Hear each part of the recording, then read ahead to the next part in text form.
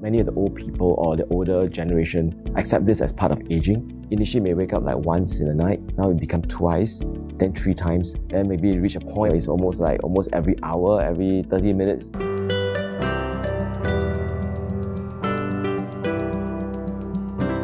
Hi, I'm Dr. Chua Wei Jin, Department of Urology, National University Hospital. I have with me today Mr. Vijaya. He's one of my patients and uh, together we will uh, share with you the topic on benign prostate hypertrophy, BPH in short. BPH is a benign enlargement of the prostate gland. It's a very common disease that actually affects men. In Singapore, the prevalence of BPH is about 40% for men 60 years and above, and the incidence increases with age. For men with uh, enlarged prostate, I think the most common symptoms that they present with actually with will be a uh, slowness in the urinary flow. Um, they also come to me for increase in the number of time they need to pass urine, especially in the night, and that affect their quality of life, affect their sleep. Because cannot stand already because too frequent and my sleep is disrupted.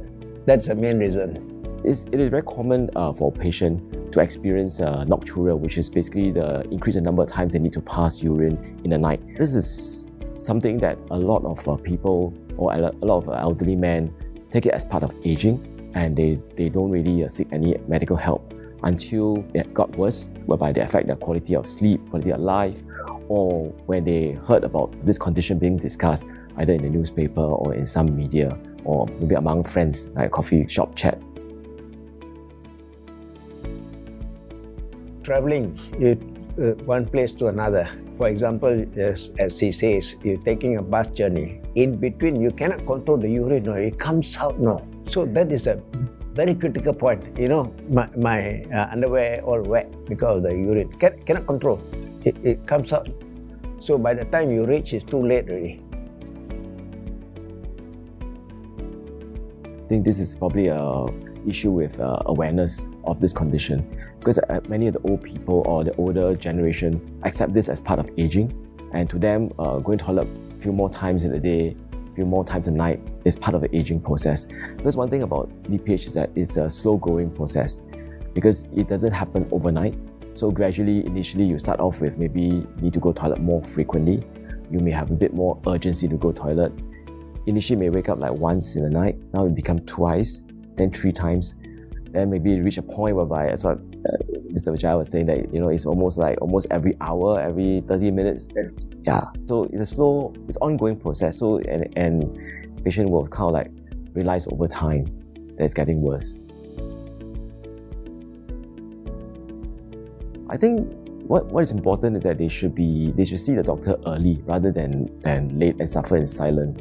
Because many times uh, if they pick up the condition early, there are many ways we can consider treating this condition. We can start off simply with medication, and then if the condition worsen or patient cannot tolerate side effect of medication, then we can move on to other line of treatment which includes surgery. Let's start with medication. I mean, medication is usually my first line of treatment for most patients. Uh, it's convenient. They just pop a pill, let's say uh, one, uh, one pill a day. Uh, what it does is that how I, I look at treatment is really look at the severity of the disease and how much it affects the patient. So when the patient see me in the clinic, I'll evaluate the patient, I'll ask him about the symptoms, assess how severe the symptoms are, and also uh, how much it impact on patient life. Then I'll do a quick physical examination for patient, whereby we'll, we will assess the size of the prostate gland and see whether it has affect the kidney function. Because if the prostate is very big, sometimes it may affect the function of the kidneys. Then I'll do a flow test for the patient to assess the urinary flow. From there, that will give me some idea of the severity of the, of the disease. And from there, then we'll discuss with the patient the treatment option. And if I were to start on medication, there are two class of medicine or two types of medicine that we can offer patient. The first one helps by relaxing the bladder neck, and that actually helps to improve the urinary flow. I think that's something that uh, Mr. Vijay actually tried. And there's another medication that can help to shrink the size of the prostate gland. And that is also another medication that also will help. But that medicine probably is slightly slower acting and it takes a bit of time uh, before you see the full effect. So usually I'll explain all this to the patient and then I'll explain to them how the medicine work what's the side effect of each medication, and from there, then, then we will let the patient try the medication. I usually give the patient a trial match for about two months, and I'll assess them again. But if the patient couldn't tolerate the side effect or if the medicine doesn't really work well for them, then of course we will move on to the next line of treatment, which will be surgery. Actually, it's no problem. I took it during the trial period, but it's slow reaction. That's why I'm asking him for the surgery, which are the good method of uh, surgery, what are the surgeries you have and all that. He explained to me all in detail. He showed me the three types of uh, surgery also, which is more safer, which is uh, high risk and all that. There were actually uh, two main group of surgery. The traditional surgery, which is TURP, and then the newer, uh, less invasive, the minimally invasive option. So the total of three surgery that we discussed. Correct. And during that session, actually show uh, Mr. Vijaya the videos, and then we talked about the pros and cons of each of the procedure in details. Yeah. Yeah, I decide. Yes, I told Dr. Chua, okay, I want this one because it's safer and then it's not much of a problem. I think Mr. Vijay actually took some time. He took about a week. Yeah. He, he went home, discussed with family members, and came back a week later. So he actually did seriously Yeah, consider all the three options and then uh, weigh the pros and cons before he decide which is the one that he'd like to go for in the end.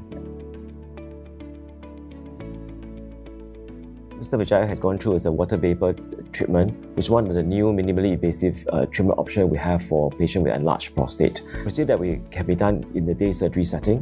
So Mr. Vijay come in in the morning, had the procedure done. We'll observe him in the in the day surgery ward for a couple of hours to make sure everything is okay, and then after he's he was actually discharged on the same day. The main uh, thing about this uh, procedure is that it actually uh, injects steam into the prostate gland, and that causes uh, uh, some swelling of the prostate initially. So patients who are on this treatment needs to be on the urine catheter for seven to ten days. I think Mr. Vichara was on this for about ten days, the catheter, and um, throughout this period of time, I think the most inconvenient part is having the urine bag. So the first three days he had the urine bag. By the day four, we changed to a valve, and that actually uh, helped in terms of the uh, moving around. Without the bag, it's actually easier to move around in the house, or you can just wander out. Uh, I was in the day surgery. Uh, Dr. Chua did the surgery. Then after that, yeah, I was in the day ward for a few hours there. Then uh, initially, after the, the sometimes, you know, the pain started. Then I called the staff nurse to call Dr. Chua to give me some medication to to kill the pain, and then he prescribed uh, some Panadol or what, and then give me that will be better. Then I just carry on. So I go off at about eight, eight plus. I mean, it's okay. Suffering is suffering part, but after that, uh, it's all relaxed already. Very good, actually.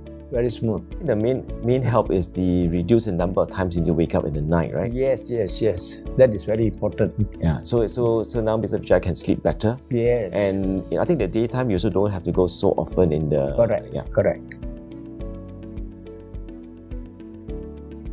First thing on what you really facing the problem, and then I will ask you to see a doctor because this is something nobody can say. Only the doctor can classify what is the problem. I will tell them the truth. Instead of wasting time, you better see a doctor and get it treated early. I will give them the confidence saying that, you know, I go through, there's nothing to worry about, there, there's no fear, nothing, there's no pain, only a short period to suffer, that's all. After that, back to normal and very convenient.